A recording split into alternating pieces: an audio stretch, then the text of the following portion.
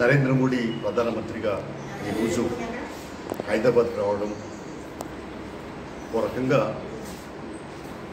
తెలంగాణ ప్రజల పట్ల నిర్లక్ష్య వైఖరి అవలంబిస్తున్నటువంటి లేదా పక్షపాత ధోరణి వివరిస్తున్నటువంటి నరేంద్ర మోడీకి ఎలాంటి నైతిక హక్కు లేదని సిపిఐ అభిప్రాయపడుతుంది.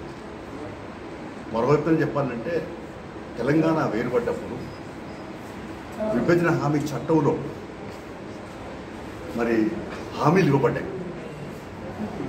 బయ్యారు ఉక్కు ఫ్యాక్టరీ కాచిపేటలో కోచ్ ఫ్యాక్టరీ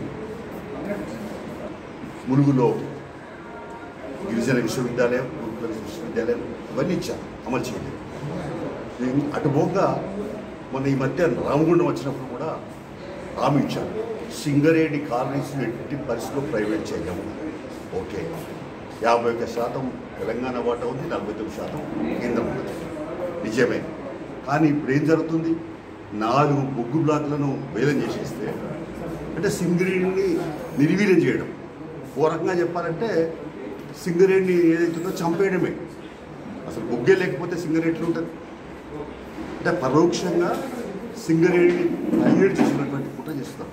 బీజేపీ వాళ్ళు మూల మీద వాళ్ళు లేదండి అంతటా వేరే పాడుతున్నాం అంతటా బాగా చేస్తున్నాం అందుకని తెలంగాణ చేస్తున్నాం నేను అడుగుతున్నాను గుజరాత్ రాష్ట్రంలో లిగ్నైట్ మైన్స్ నైవేలి ప్రాంతంలో ఉన్న వాటికి ఆడ మరి లిగ్నైట్ కార్పొరేషన్కి ఎందుకు ఇచ్చినాం?